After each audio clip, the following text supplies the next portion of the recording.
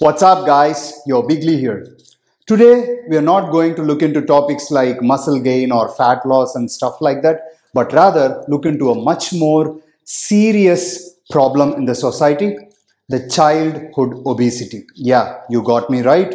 The sugars not only caught up to the adults, but it caught up to the children also. Okay, so when children grow up, parents are the role models, and the habits that the parents follow is the habits that children also follow. So, in that case, the obesity pandemic in children was inevitable. Initially, in the 1950s and 1970s, all the governments tried to regulate the nutrition of the adults and were trying to battle obesity because it was giving rise to diabetes.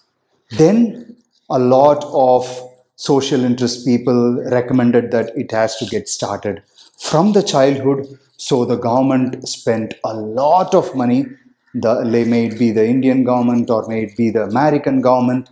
All these governments spent a lot of money in studying how this obesity could be prevented in the childhood so that they grow into a healthy adult.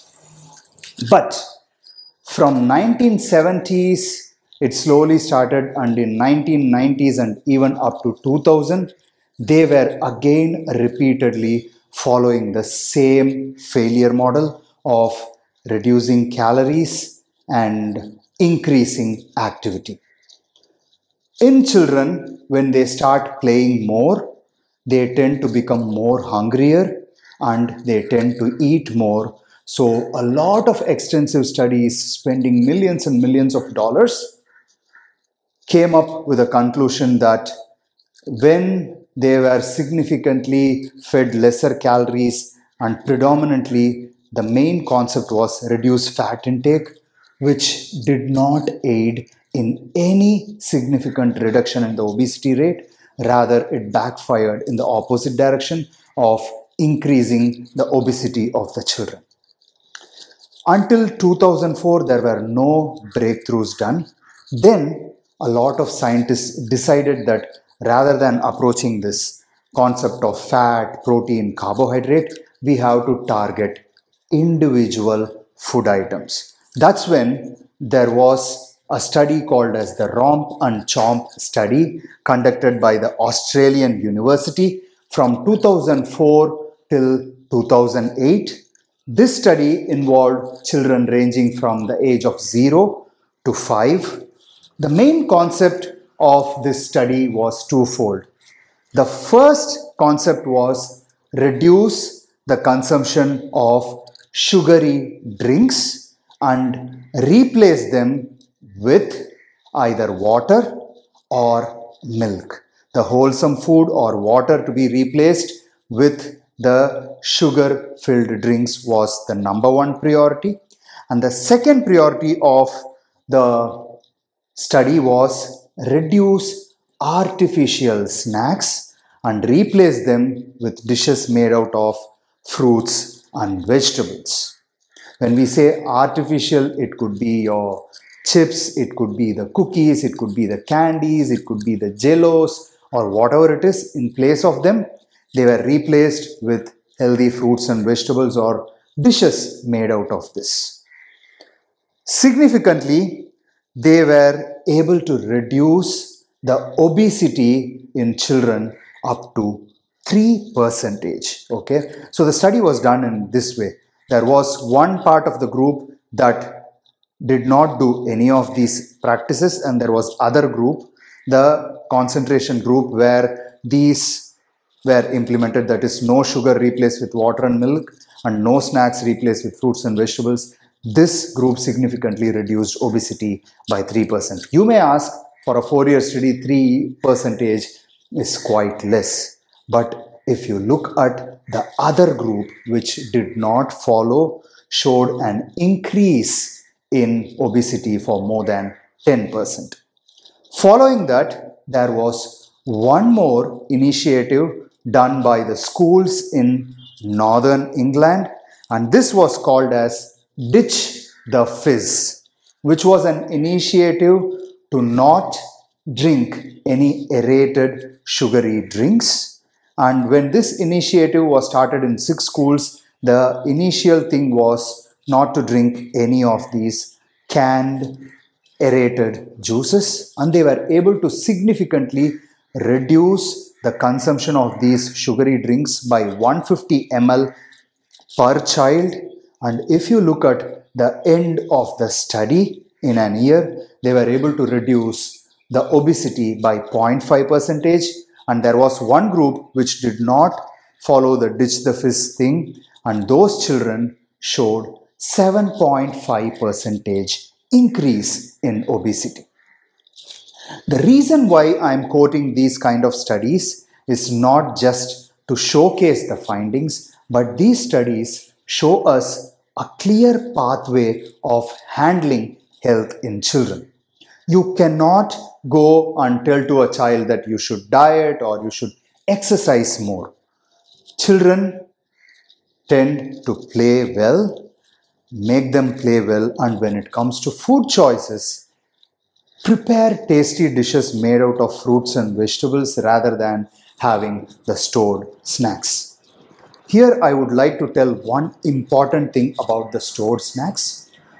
You know, the sugars are available for the past 200 years almost, and that did not give us obesity and uh, the diabetes. But if you look at the climb of diabetes and obesity, it started after 1970, which is the invention of high fructose corn syrup. Okay, fructose, you know, like if you look at a common table sugar, it has glucose and fructose. Glucose is a six-headed carbon molecule and then fructose is a five-headed molecule. And fructose is something that can be metabolized only in your liver, which means it cannot be directly used for energy in the muscles or brain, which means the tendency of them to convert into fat is higher. When you consume fruits, it's not a big deal because you get only very few fructose which can be utilized by the liver but has a lot of fiber and water which makes it better. But when it comes to high fructose corn syrup, 100 grams of corn syrup contains almost 90 plus grams of fructose which was figured out to be the main cause of increasing obesity pandemic. So when we are feeding our children, we need to be sure that these kind of artificial ingredients are not present when we just avoid these artificial ingredients and control the amount of sugars, your kid is not going to become obese. Okay. We were looking at, you know, like how adults become fat and we were trying to figure out solution for that. And today we just go a step before that and saw the children. And I would like to take you to a step even further about the pregnancy. Usually in pregnancy, women have a lot of craving and they end up eating a lot.